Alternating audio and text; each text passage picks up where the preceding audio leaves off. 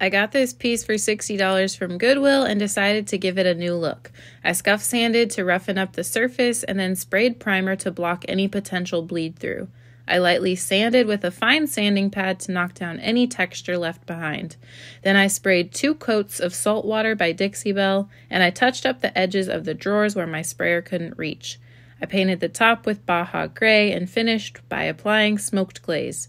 I put the hardware back on, and here is the final result. Let me know your thoughts and what do you think? Is white furniture going out of style or is it forever timeless? Let me know in the comments and follow for more furniture flips.